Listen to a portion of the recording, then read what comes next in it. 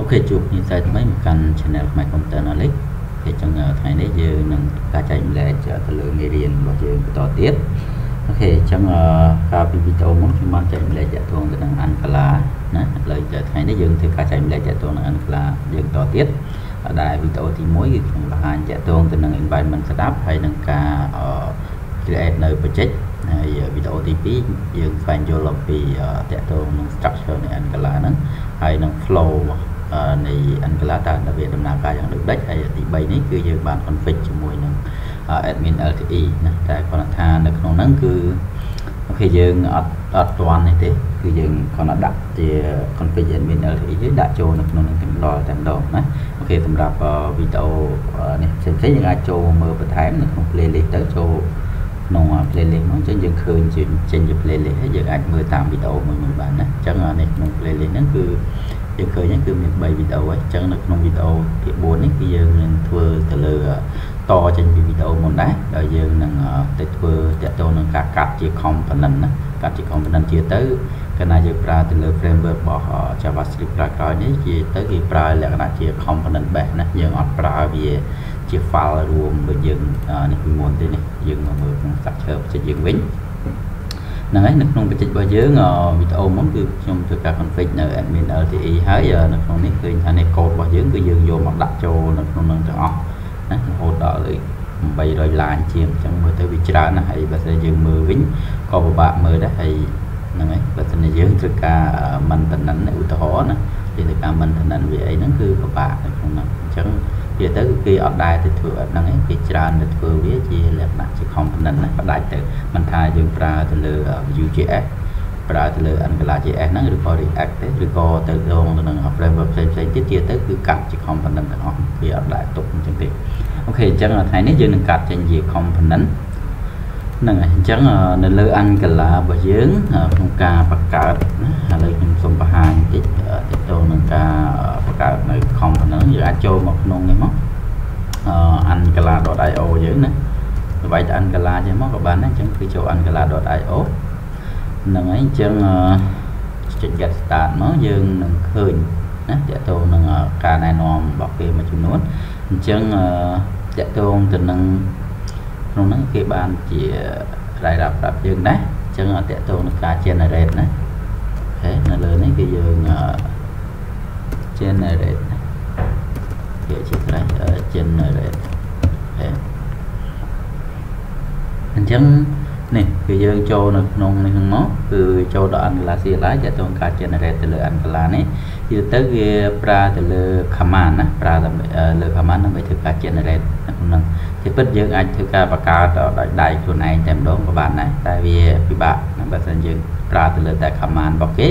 គឺមានភាពងាយស្រួលណាអញ្ចឹងយើងអាចចូលនេះក្នុង angular.io/cli/generate ណាយើងចូលដល់ក្នុងហ្នឹងទៅគឺយើងអាចធ្វើការបង្កើតនៅ component បានណាណាអូខេហើយចំពោះនៅលើ Angular នេះវិញតកតងនឹងការបង្កើតនៅ component បង្កើតអីហ្នឹង ជាទូទៅគឺយើងអាចធ្វើផ្ដាច់វាជា module បានព្រោះជាទៅ Angular វាធ្វើការ manage តាមរយៈ module តាមរយៈជា component តាមរយៈអីហ្នឹងណាហ្នឹងហើយហើយនេះរបស់គេសិតអាច generate បានទាំងអស់នៅក្នុងហ្នឹងណាតែនៅក្នុងនេះអឺតើទៅ Angular ដែលខ្ញុំបញ្ជាក់អញ្ចឹងវារៀងមកស្មានបន្តិចតែបើយើងយល់ដឹងពីវាច្បាស់បន្តិចវាបានតែវាធ្វើការងារបានទូលំទូលាយណាដោយសារវាបើកឲ្យយើងនេះខ្លួនឯងទាំងអស់ក្នុងហ្នឹងអញ្ចឹងយើងចង់ធ្វើម៉េចធ្វើទៅអញ្ចឹងវាប្រវាយមកឲ្យយើងនៅក្នុងហ្នឹងណា វាហ្នឹងហើយមិនដូចនៅក្នុង view កន្លែងខ្លះគេ config ឲ្យយើងឲ្យច្រើនណាដូច view យើងគាត់ទៅធ្វើជា lazy load ហៅ component យកទម្រង់មានតិចបានតែនៅក្នុងនេះយើងត្រូវធ្វើខ្លួនឯងណាតែចំពោះវីដេអូនៅក្នុងនេះតកតងនឹងកម្រិតដំបូងគឺខ្ញុំអត់ទៅធ្វើជាលក្ខណៈ lazy load ធ្វើអីតែបើមិនយើងករណីដែលធ្វើចេញជាបច្ចេកធំធំដែលយើងប្រើតែម្ដងទៀតទៅយើងតែងតែគិតទាំងទាំងអស់ហ្នឹងចំណុចទាំងអស់ហ្នឹងថាតើយើងធ្វើ component ហ្នឹងតើ component វាគួរទៅ load នៅពេលណាតើវា load លក្ខណៈយ៉ាងម៉េចហើយតកតងការគ្រប់គ្រងទៅលើ state របស់ project ហ្នឹងគ្រប់គ្រងម៉េចណាតែខ្ញុំអត់ទៅបដោតដល់នឹងជ្រៅយើងតែម្ដងទេបើយើងបដោតដល់ជ្រៅពេក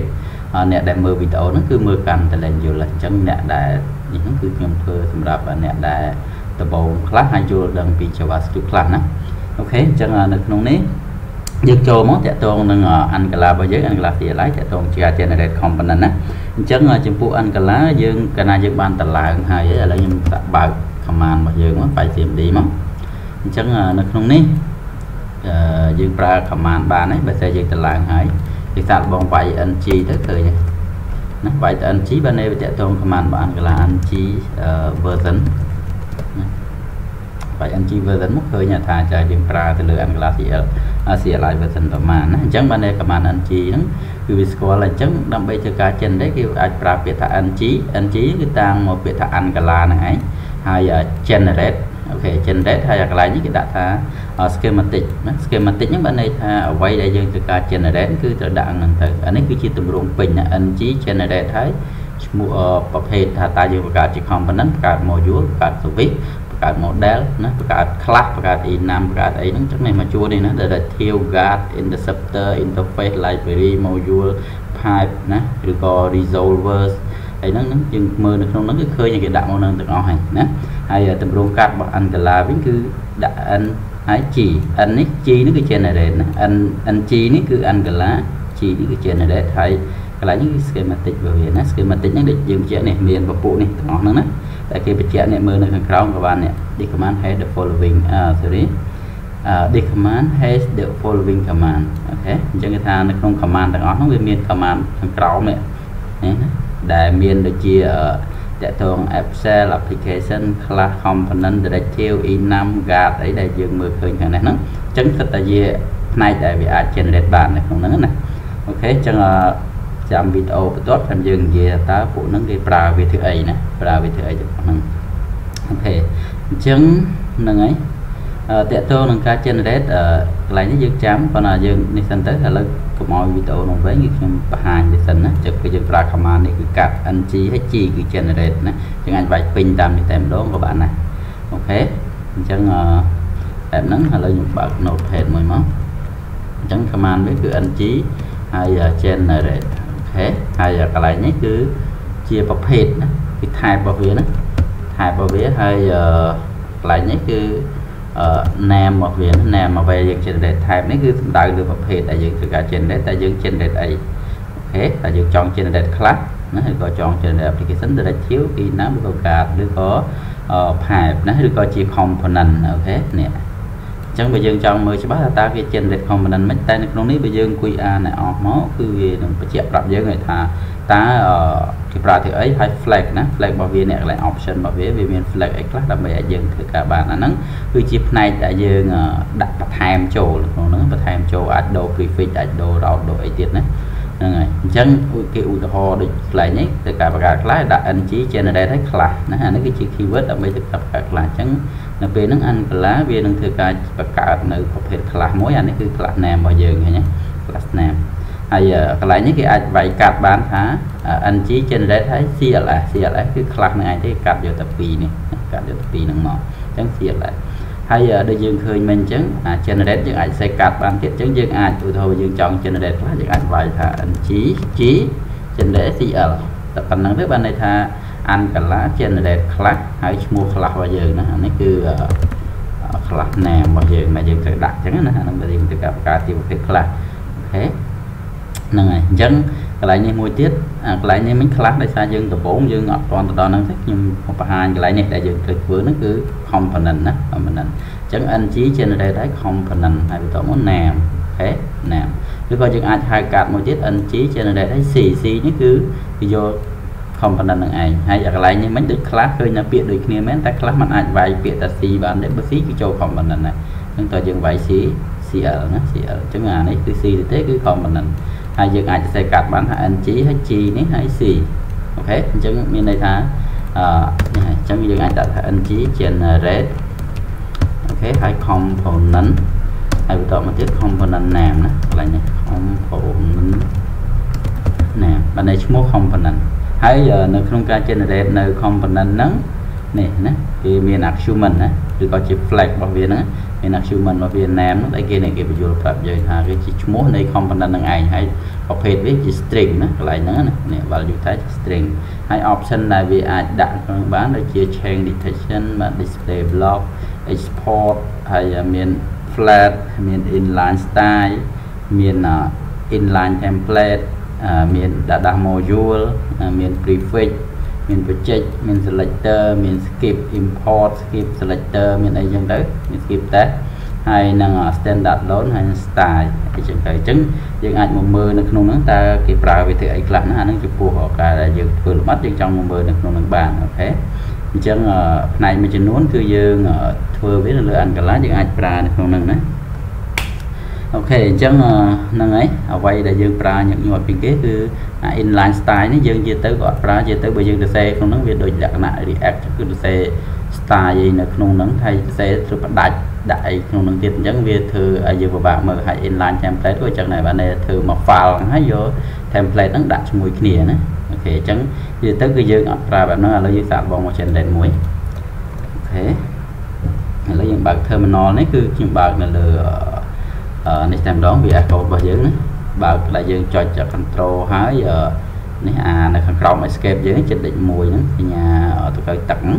ឬក៏យើងអាចចូលកន្លែង terminal នេះយក new មកក៏បានដែរនេះគេបញ្ជាក់ប្រាប់យើងនៅហ្នឹងយើងអាចប្រើនៅហ្នឹងបាន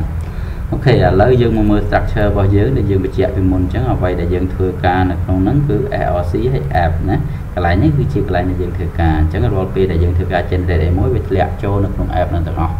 អូខេឥឡូវខ្ញុំសាកបង generate មួយចោលចុះអឺដាក់ថា ng ng គឺ Angular g នេះគឺ generate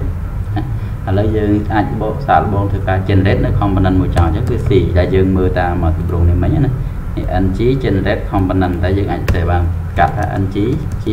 c ហើយឈ្មោះ component របស់យើងអូខេឥឡូវខ្ញុំដាក់ឈ្មោះថា test អីចឹងទៅអឺ test test component អញ្ចឹង យើងអាចដាក់ចឹងបានអូខេឥឡូវកន្លែងនេះយើងអាចវាយចឹងទៅ ng g ណា ng g ហើយ c ហើយយើងដាក់ឈ្មោះ test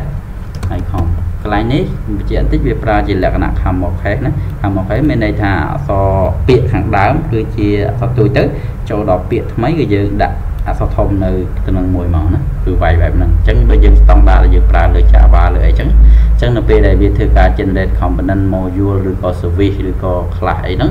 វាយកតាមតម្រងហ្នឹងហើយដល់ពេលដែលវាដាក់ជា file វាយកសញ្ញា tray ឲ្យយើងណាឥឡូវខ្ញុំសាកបងនៅពេលយើងវាយប៉ុណ្ណឹងវានឹងធ្វើការបង្កើត file មួយឈ្មោះ test.com នៅក្នុង app នឹងនេះហើយវាដាក់ file នៅក្នុងជាទៅគឺមាន4 file នៅពេលដែលយើងវាយមក command ហ្នឹងហើយវានឹងធ្វើការ register component ហ្នឹងចូលមកក្នុង module គឺ app module តែម្ដងដោយសារខ្ញុំអត់មានទៅធ្វើជាផ្ដាច់ module ឬក៏ធ្វើឲ្យតែយើងកម្រិតដំបូងយើងដាក់ចឹងទៅយើង enter មួយមកអឺ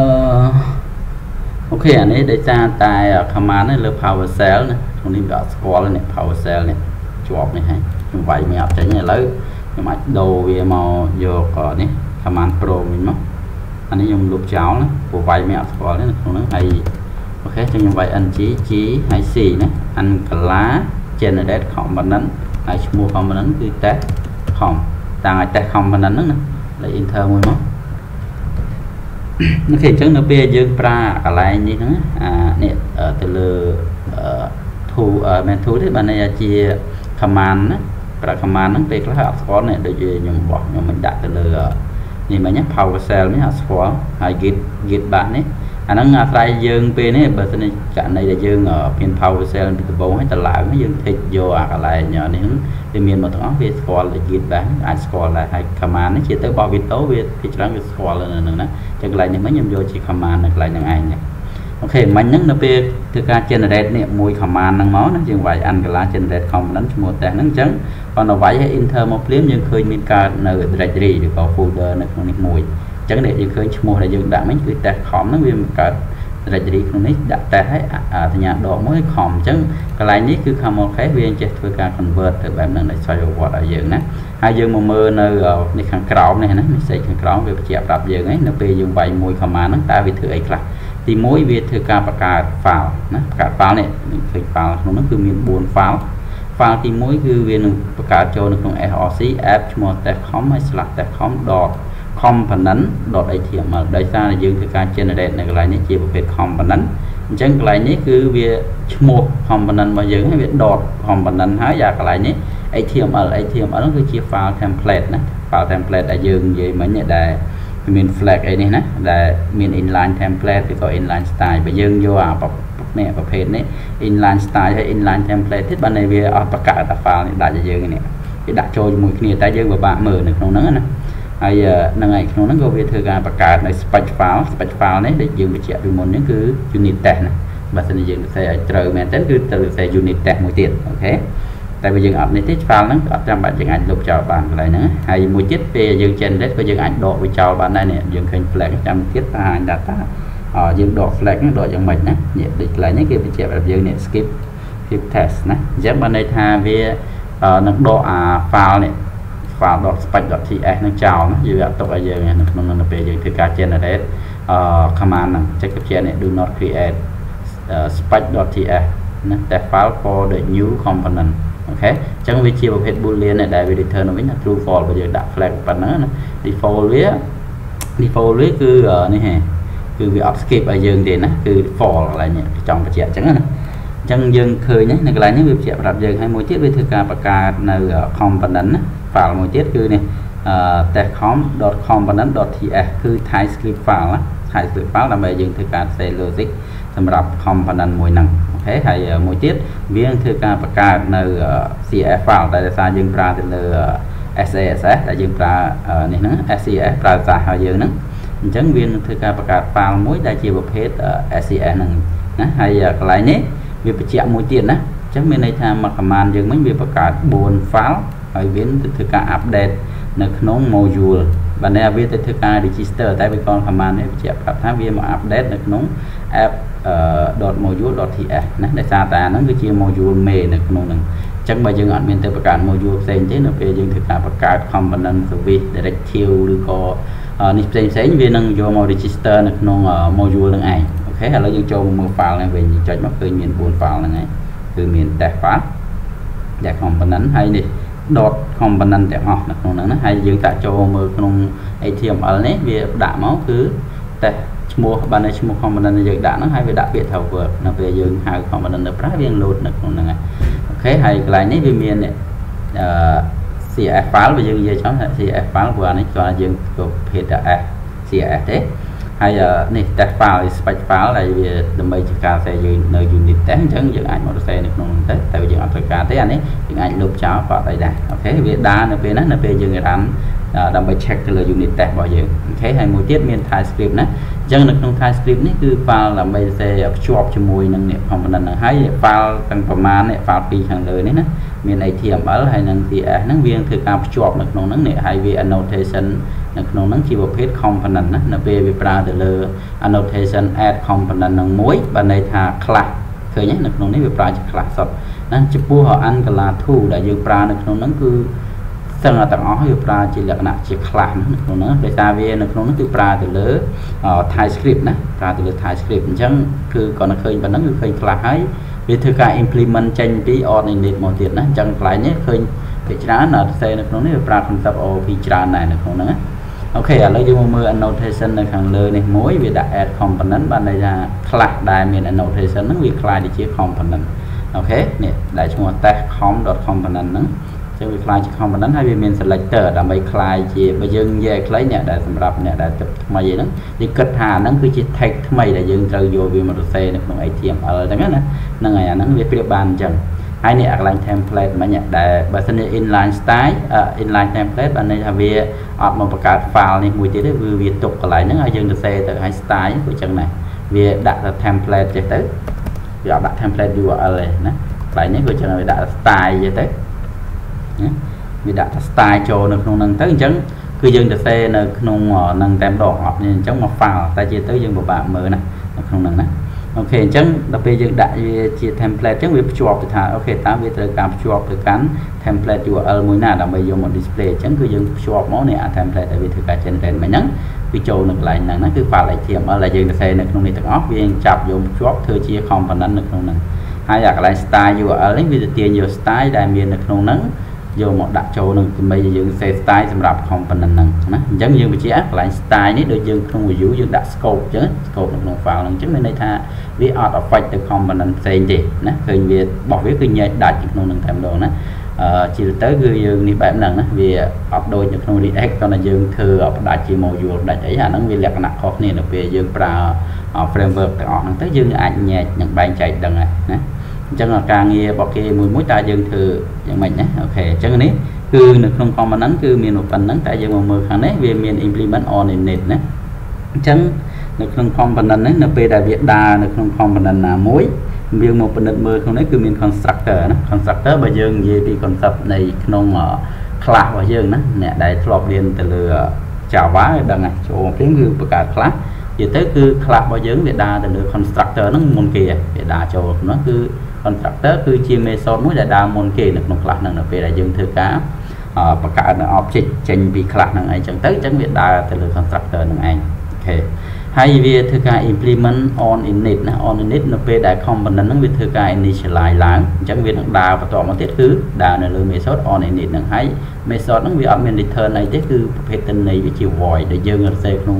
C programming ស្អីគឺយើង void main void អីអញ្ចឹងអានេះប្រភេទហ្នឹងគឺវាអត់មាន return នៅ data type អីទេ ណាអញ្ចឹងគឺ component ហ្នឹងគឺប៉ុណ្ណឹងនៅពេលយើងបង្កើត component មួយគឺវាដើរចំនួនប្រមាណហ្នឹងហើយដូចខ្ញុំបញ្ជាក់នេះ unit test នេះគឺអត់សំខាន់ទេតោះតែយើង run ទៅលើ unit test របស់យើងណា npm run test របស់យើងនេះនេះកន្លែងនេះតន្តរ៉ានអាហ្នឹងគឺយើងសរសេរនៅ unit test ដើម្បី check នៅ logic code របស់យើងហ្នឹងគឺគេសរសេរ unit test អាហ្នឹងដូចខ្ញុំបញ្ជាក់បើសិនជា យើងសរសេរ code ឲ្យត្រូវសម្រាប់ក្រុមហ៊ុនដែលគេធំធំមែនតើនៅក្នុងហ្នឹងក្រុមហ៊ុន standard គេធំធំគឺត្រូវតែសរសេរ unit test ណាដើម្បីដឹងថា code យើងដើរទៅហ្នឹងវានេះអត់ណាតែចំពោះយើងបើយើងអត់ទេយើងអាចលុបចោលក៏បានដែរអូខេអញ្ចឹងកន្លែងនេះខ្ញុំលុបចោលទៅអូខេអញ្ចឹងលុបទៅវាអត់មានអ្វីអីទេឥឡូវក្នុងនឹងបាន component នឹងមួយហើយហើយយើងមើលមិញនៅក្នុងនេះមិញវាបានបញ្ជាក់ថាវាមក update ទៅលើ app module ណាឥឡូវយើងចូលមើល app module វិញ នៅក្នុង app module មិញអូខេដោយសារខ្ញុំអត់បានបើកពីដំបូងពីដំបូងជាទៅ default ណានៅក្នុង app module ហ្នឹងយើងចូលមកគឺវាបានណាយើងមាន annotation នេះមួយជាទៅក្នុងនេះវាប្រើដូច spring អញ្ចឹងណានៅក្នុង Angular វាប្រើដូច Spring យ៉ាងកន្លែងមួយចំនួន configuration ឬក៏កន្លែងអីវាទាំងអស់វាប្រើទៅលើ annotation ណាយើងប្រើទៅលើ Spring ប្រើទៅលើអីអ្នកដែលប្រើ Spring ប្រើ Hibernate ឬក៏ប្រើអីហ្នឹង ប្រើ Spring Boot ប្រើអីយើងតែងតែឃើញមាន annotation ណាដែលគេដាក់នៅក្នុងហ្នឹងអញ្ចឹងក្នុង Angular ដូចគ្នាណាវាប្រើ annotation concept ហ្នឹងហើយវាប្រើ concept dependency injection ប្រើអីហ្នឹងគឺដូចគ្នាបែបបិទក្នុងហ្នឹងវាអត់នេះគ្រាន់តែខុសវិធីសាស្ត្រក្នុងការសរសេរកូដនៅក្នុងហ្នឹងឯតាយើងសរសេរកូដនៅក្នុងនោះយើងសរសេរមិនអានេះយើងសរសេរយ៉ាងម៉េចណាអូខេអញ្ចឹងយើងមកមើលកន្លែងនេះវិញគេដាក់ annotation មួយគឺ ng module នៅពេលយើងដាក់ថា add ng module ហ្នឹងមកមានន័យថានេះ class នេះយើងឃើញថារបស់វាគឺសិតតែ class នៅពេលយើងដាក់ប៉ុណ្ណឹងមានន័យថាអាកន្លែងហ្នឹងវាខ្លាយជា module class ហ្នឹងគឺជា module ណា annotation របស់វាប៉ុណ្ណឹងហើយនៅក្នុងនេះគឺជា object ដែលត្រូវរុញបញ្ចូលមកក្នុងសម្រាប់ module ហ្នឹងអញ្ចឹងយើងឃើញថានៅក្នុង module វាចាប់ដើមធ្វើការ declare ណាកន្លែងហ្នឹងគេដាក់ថា declaration វាជា array បានន័យថាយើងអាចធ្វើការរុញនៅ declaration ចូលក្នុងនឹងច្រើនអញ្ចឹងយើងអាចធ្វើការប្រកាសនៅ component ច្រើនណា ហើយយើងមើលនៅក្នុងនេះដែលយើង run ពីដំបូងនេះវាមាន app app.component.ts app.component.scs app.component.html អូខេអញ្ចឹងឃើញអា component ទាំងអស់ហ្នឹងដំបូងហ្នឹងក៏វាមានបង្កើតនឹងដែរនេះឃើញវា link យកចេញក្នុងហ្នឹងហើយអាហ្នឹងជា class ដែរយើងមកមើលក្នុងនេះណាឃើញថាហ្នឹងវាជា class ហើយ annotation វាជា component ណា annotation វាជា component អញ្ចឹងនៅពេលចូលមកវាខ្លាយជា component ដែលយើងអាចយកមកប្រើបានលុះត្រាយើងធ្វើការ register ចូល module ណាមួយណា register ចូល module ណាមួយព្រោះវា manage ដោយ module ណា component manage ដោយ module អញ្ចឹងនៅពេលយើងដាក់ចូលនេះបានយើងធ្វើការ declare នៅ component ហ្នឹងខ្លាយជា component ដាក់ចូលក្នុង module ដើម្បីឲ្យវាទទួលស្គាល់ថាហ្នឹងគឺជា component នេះកន្លែងហ្នឹងហើយពេលមួយទៀតយើងឃើញមាន test.com.component ដែលយើងបង្កើតមិញហ្នឹងអញ្ចឹងវា import ចេញពីក្នុងនេះ class នេះមកដែលយើងមើលឃើញមិញនេះគឺ directory ឈ្មោះ test.com testcom.component អញ្ចឹងគឺ file ហ្នឹងនៅកន្លែងនេះនេះអញ្ចឹងឲ្យឈ្មោះ class ហ្នឹងអញ្ចឹងវាចាប់ដើមយកមក declare នៅក្នុងនេះ declaration ហ្នឹងអញ្ចឹងពេលហ្នឹង component ហ្នឹងវាអាចយកទៅប្រើបានណាព្រោះវាបានប្រកាសហើយបើន័យថានៅក្នុងនេះហ្នឹងវាទទួលស្គាល់ថាហ្នឹងជា component យើងអាចប្រើបានហើយនៅកន្លែងនេះទៀតវាបានធ្វើការ import ព្រោះនេះគឺជាកន្លែងដែលគេបានបង្កើតមកហើយអញ្ចឹងវាទៅ import នៅគេ browser module ណាដែលគេបានរៀបក្នុងខាងហើយហើយនឹង app route module ណា browser module នេះទាញចេញពីណា browser module វាទាញចេញពី Angular flat browser មកតែម្ដងអាហ្នឹងគឺចេញពី core របស់ Angular នេះឃើញ add Angular ណាអានេះក៏អញ្ចឹងដែរ ng module ដែលយើងឃើញ annotation ហ្នឹងវាទាញយកចេញពី Angular ដែលគេធ្វើការ config នៅក្នុងហ្នឹងអាហ្នឹងបើយើងចង់ទៅមើលល្បិតមែនតើអាចទៅមើលនៅក្នុងហ្នឹងទៀតតែតែកម្រិតយើងដំបូងអត់ចាំបាច់ទៅមើលដល់ដល់ក្នុងហ្នឹងក៏បានដែរណាព្រោះយើងទៅមើលក្នុងហ្នឹងគេកាន់តែទៅវែងដែរឆ្ងាយទៅអាហ្នឹងជាខ្លះនេះឃើញទេ ជា class មួយដែលគេបង្កើតទុកឲ្យយើង import ចូលអញ្ចឹងដើម្បីកុំឲ្យយើងមកគិតនៅកន្លែងហ្នឹងអញ្ចឹងយើងប្រើតែ annotation tab ហ្នឹងទៅបានហើយហ្នឹងហើយបន្តមកទៀត app route នេះអាហ្នឹងគឺ route Angular route ដើម្បីយើងធ្វើការ point ទៅលើ URL ឆ្លាស់អីទៅណាឆ្លាស់អីទៅណាអីហ្នឹងនៅលើហ្នឹងហើយដូចជា React អីវាមាន React router ហ្នឹង React React router DOM ណាហើយនៅលើ view ហ្នឹងវាមាន view router ហើយដល់ពេលលើ Angular នេះ វាមាន Angular router របស់វាដែរណាអញ្ចឹងនេះវាទាញចេញពី file នេះមកតែ file នៅណានេះ file ហ្នឹងគឺនៅកន្លែងនេះនេះ app route ណាទៅចូលមើលអាហ្នឹងវាជា class ទៅទៀតណាចូលមកក្នុងហ្នឹង class ទៀតនិយាយរួម everything គឺសិតតែ class តែម្ដងនៅលើហ្នឹងអ្នកដែលចូលមកក្នុងនេះគឺអ្នកដែលមាន concept OOP អីហ្នឹងអាចទៅមើលរៀងនេះយល់ក្នុងហ្នឹង អូខេអញ្ចឹងយើងមកឃើញក្នុងនេះវាចាប់ដើមធ្វើការ import នៅ class ហ្នឹងយកមកដាក់ចូលមកក្នុង module ហ្នឹងដែរដើម្បីឲ្យ module ទទួលស្គាល់ថាហ្នឹងជា class ហើយយើងអាចនេះណាអាច add នៅ provider add អាច add វិញមកហើយកន្លែងនេះគឺកន្លែងដែលវាធ្វើការ bootstrap ឡើងដែលយើងនិយាយពីដំបូងអញ្ចឹងវា bootstrap component នឹងឡើងណាអញ្ចឹងនៅពេលយើងដើរមក module នឹងដើរវាចាប់ដើមទាញនៅអ្វីដែលអ្វីដែលមាននៅក្នុងហ្នឹងយកដាក់ចូលក្នុងហ្នឹងទាំងអស់អូខេហើយដល់ពេលយើងចូលមើលក្នុង route របស់យើងនេះវិញ ហើយមាន annotation មួយទៀតគឺ ng module ហើយវាបាននេះវាមានបង្កើតអានេះគឺវាមាន import route នេះមកនេះ route នេះគឺចេញពី Angular router មកណាវាមានដាក់នេះហ្នឹងហើយទាញ for root for root វារុញចូលធ្វើជា root នៅក្នុងបច្ចេកនឹងតែម្ដងហើយដែរនេះប្រភេទ route ដែលវារុញចូលហ្នឹងគឺនេះវា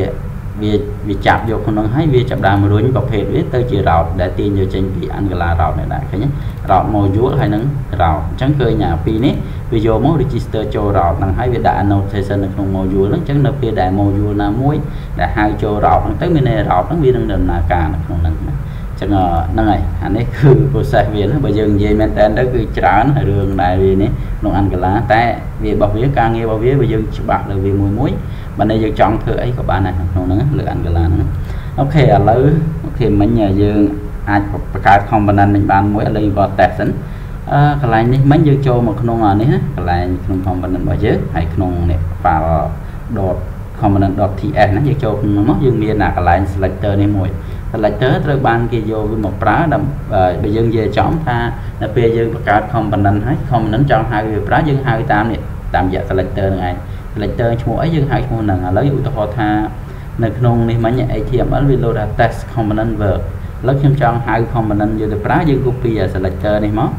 អញ្ចឹងយើងដឹងថានៅពេលដែលបច្ចេករបស់យើងចាប់ដើមធ្វើការ bootstrap ឡើងវាដើរឡើងមកគឺវាដើរ app module ហើយវាមក load component នេះណា app component ឥឡូវ app component យើងធ្លាប់ config admin LTE របស់យើងហ្នឹងដាក់ចូលពីមុនមកគឺដើរនេះនៅក្នុងនេះណាឥឡូវយើងសាក start មក តែខ្ញុំមិញអត់ទាន់បានធ្វើការនេះអីទេអត់ទាន់បានធ្វើការដាក់ component មកចូលអញ្ចឹងយើងច្បាស់ឃើញដូចមុនអញ្ចឹង npm start មួយហើយចាំយើងយកកន្លែងមិញហ្នឹងយក component ហ្នឹងយកមករុញចូលក្នុងហ្នឹងណាយើងអាចរុញចូលបានអញ្ចឹងដល់ពេលយើងប្រើលក្ខណៈ framework ទាំងអង្គគឺជា component base គឺមានលក្ខណៈបែបហ្នឹងណាអូខេអញ្ចឹងឥឡូវយើងចាំបន្តិចវាចាប់ដើមកំពុងតែ generate នៅ local development របស់យើងឲ្យវា start start up របស់វាឡើងណា ដើម្បីឲ្យយើងទៅមើល file ហ្នឹងបានអូខេឥឡូវយើងចូល local host port 4200ចូលមកនៅពេលដែលវា start ហើយវានឹងដំណើរការលើហ្នឹងហើយអូខេនេះ port 4200អញ្ចឹងវាបាន compile success ហើយឥឡូវយើងមកមើលអញ្ចឹងនេះវាដើរដូចកាលមុនណាអញ្ចឹងយើងមាន layout មានអីនៅក្នុងហ្នឹងហើយឥឡូវខ្ញុំនេះចង់ចង់ដូរអាកន្លែងនេះមើលអា start create យក amazing application ហ្នឹង ជាសាមកដូរនៅកន្លែងហ្នឹងយើងអាចហៅ component មិនចូលណាអញ្ចឹងឥឡូវជើងប៉ាញមុនទៅ start អឺនេះ start create amazing your amazing application អញ្ចឹងយើងអាចឥឡូវខ្ញុំសាកល្បងមកនេះដូរណាយើងយកប្រនេះ component ដែលយើងទៅបង្កើតមិញមួយហ្នឹង copy កន្លែងនេះរបស់វាមក selector របស់វានេះមកយកមកដាក់ចូលនៅក្នុងហ្នឹងហើយយើងបើកបែបនេះដូច HTML របស់យើងអញ្ចឹងតែ យើងមើល component នេះបើនៅលើ HTML យើងអត់មានទេដោយសារវាជា component ដែលយើងបានធ្វើការបង្កើតនៅពេលយើងដាក់ប៉ុណ្្នឹងមកវានឹងទាញនេះអា template ដែលវាមាននៅក្នុងនេះយកមកដាក់បញ្ចូលឲ្យយើងនៅក្នុងកន្លែងហ្នឹងណាអូខេហើយកន្លែងនេះយើងអាចទៅសេចេះបានដូច HTML យើងនិយាយទៅគឺណាយើងបើក tag មួយដូចតែងតែបិទណាអាហ្នឹងគេហៅថា markup language ដែលយើងប្រើវាទម្រង់វាដូចជា HTML អញ្ចឹងណាដូចជា HTML អញ្ចឹងណា HTML ហ្នឹងវាជាវាចេញមកពី HTML ហ្នឹងដែរ HTML ហ្នឹង ហហើយមួយទៀតបើសិនយើងបើកអាហ្នឹងហើយយើងត្រូវមកបិទវាវិញតែបើយើងអត់ចង់សេអញ្ចឹងទេយើងអាចបើកដូចជាលក្ខណៈយើងសេ HTML យើង BR អញ្ចឹងកន្លែងនេះយើងអាចដាក់ចេះមកមានន័យថានៅពេលយើងដាក់នេះហ្នឹងគឺយើងអាចបិទបើកឯងបិទនៅនឹងតែម្ដងនេះអូខេឥឡូវយើងលុបមកបិទកន្លែងនេះយើងអាចបិទចេះអូខេអឺ self flow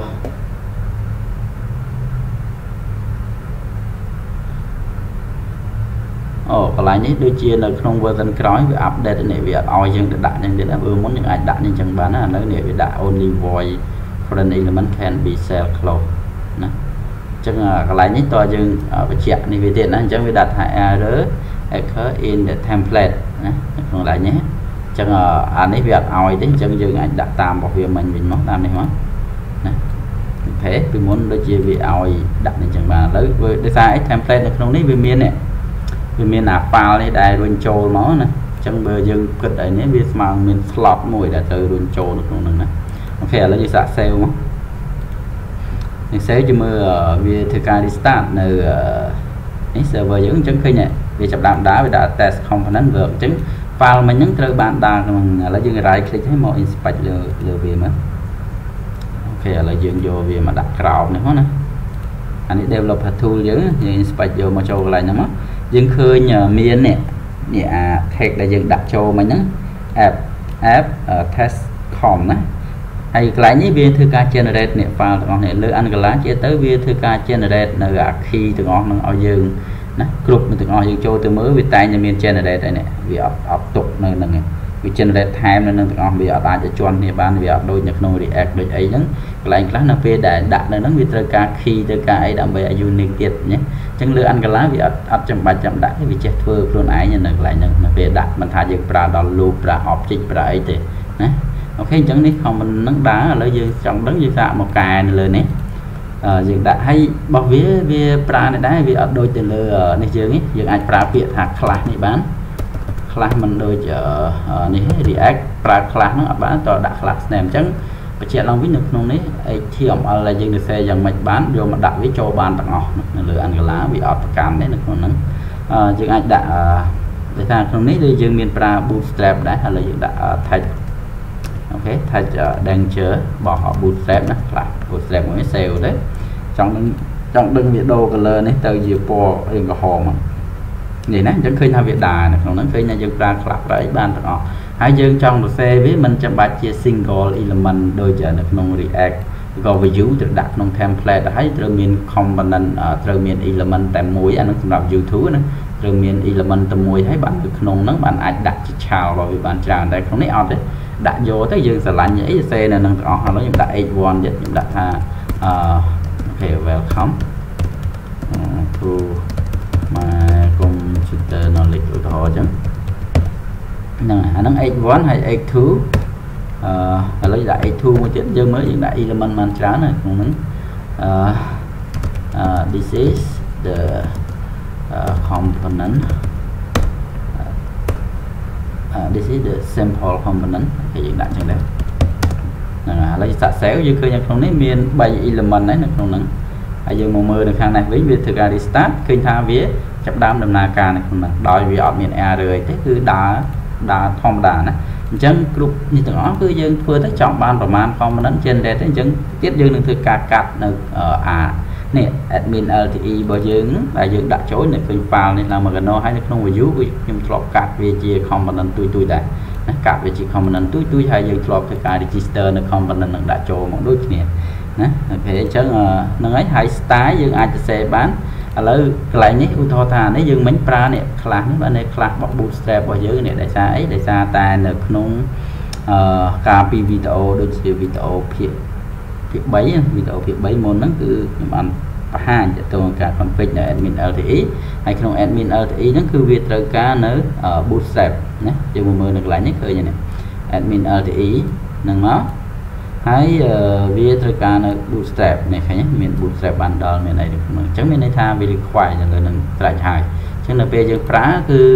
ក្នុង admin LTE គឺមាន bootstrap អញ្ចឹងយើងអាចប្រើ class bootstrap បានណាណាអញ្ចឹងនេះឃើញវាដើរឥឡូវកន្លែងនេះយើងចង់សរសេរ style ណាយើងចង់សរសេរ style style យើងអត់ចង់ប្រើជា global ហើយបើយើងសរសេរ global មានន័យថាសរសេរនៅក្នុង style នេះយើង apply វាមកគឺអខ្លះហ្នឹងគឺវាដើរទាំងអស់ណានេះដូចយើងដាក់កាលមុននេះ មាន test ខ្លះហើយទំហំវា40ណាដូចអាមិញឥឡូវសាកហៅនេះចូលមកទៀតមកថាច់ដឹងជើហើយអានេះខ្លះរបស់យើងដែលយើងបង្កើត global កាលពីមុននេះតាំងពី view ដែលយើង test ហ្នឹងណានេះ font size 40ហើយហ្នឹងហើយហើយមួយទៀតយើងអឺអា style ហ្នឹងឃើញថាយើងដាក់នៅខាងក្រៅយើងចង់ហៅដាក់ចូលនៅក្នុងនេះក៏បានដែរនេះក្នុង file នេះក៏បានឥឡូវយើងរុញមកចូល component នេះក៏បានឥឡូវក្នុង component នេះយើងអាចធ្វើការបង្កើត class ណាអាចបង្កើត class ឬក៏បង្កើត select text តែម្ដងក៏បានដែរឥឡូវខ្ញុំដាក់ text ហ្នឹងទៅមិញ h1 ណាហើយយើងដាក់ touch align center មួយមកអូខេស្អីខ្លីៗទៅហើយ h2 មិញអូខេ h2 យើងដាក់ touch align center ដែរទៅហើយយើងដាក់ touch declaration ដាក់ underline មួយមកដាក់គូបន្ទាត់ពីក្រោមមួយមួយណាអានេះ h1 គាត់ align center h2 align center ហើយគូបន្ទាត់ពីក្រោមណានេះ នេះនេះផ្លែនេះហើយយើងអាចដាក់ class ធ្វើជា class ក៏បានដែរតែឥឡូវយើង select element ណាឥឡូវយើងសាកល្បង save មកអូខេអជាស្រ័យបាទ save អញ្ចឹងវាធ្វើការ reload នៅ component ហ្នឹងចង់មើលតើវាដើរមកកណ្ដាលឃើញនេះវាចាប់ដើមរុញមកកណ្ដាលហើយអាកន្លែងនេះវាគូបន្ទាត់ពីក្រោមណាអានេះគឺយើងអាសាញ CS ហើយនេះទំហំមកកន្លែងនេះ ណាយើងដាក់មិញអីគេ apply នេះ class ដែល global នៅខាងក្រៅដែលយើងដាក់មកមិញហ្នឹងគឺតែ class ទំហំវា40ឥឡូវក៏វា affect ដែរណាអញ្ចឹងចង់បញ្ជាក់ឡើងវិញថាអូខេកន្លែងនេះ VN នេះគឺវា apply តែនៅលើ component ហ្នឹងទេវាអត់ affect ទៅដល់ component ផ្សេងទេតែអាកន្លែង style នេះដែលថាវាជា global style នៅពេលដែលយើងដាក់វានឹងគ្រប់ component ទាំងអស់នៅក្នុង project ហ្នឹងគឺ style ហ្នឹងគឺអាចចូលក្នុងនឹងបានណាអាចយើងចង់ដាក់សរសេរខ្លះរួមសរសេរនៅក្នុងនឹងទៅហៅតាមហ្នឹងគ្រប់ component បានទាំងអស់ហ្នឹងហើយគឺជា concept នៃការប្រើប្រាស់ component នៃការបង្កើត component នៅលើ Angular ណាអូខេអញ្ចឹងវីដេអូហ្នឹងអឺនេះដូចជាវែងដែរខ្ញុំបង្ហាញប៉ុណ្ណឹងហើយនៅវីដេអូក្រោយខ្ញុំនឹងកាត់ណាយើងបានស្គាល់ស្គាល់ concept នៃ component ប៉ុណ្ណឹងហើយនៅវីដេអូក្រោយយើងនឹងកាត់នេះ template នៃ admin LTE នេះ កាត់វាជាផ្នែកជាផ្នែកហ្នឹងហើយកុំឲ្យវាមើលទៅវែងអញ្ចឹងអញ្ចឹងយើងពិបាកក្នុងការ manage ក្នុងហ្នឹងណាពិបាក manage អញ្ចឹងយើងកាត់វាឲ្យខ្លីដើម្បីយើងងាយស្រួលមើលអូខេអញ្ចឹងវីដេអូហ្នឹងគឺមានតែប៉ុណ្ណឹងអញ្ចឹងជួបគ្នានៅវីដេអូបន្ទាប់